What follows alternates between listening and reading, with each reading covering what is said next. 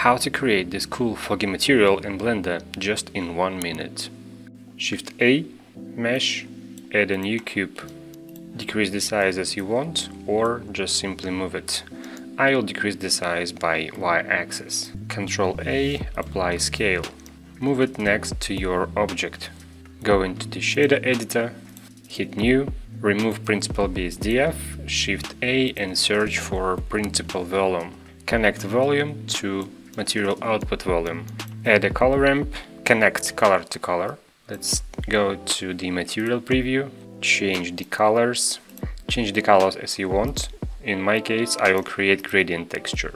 Shift A, gradient texture, Control T to add mapping and texture coordinate. Now we need to set up the principled volume. I will go with density up to 12 and then additionally I will connect color to the emission color and increase emission strength up to 8 and this is what we have.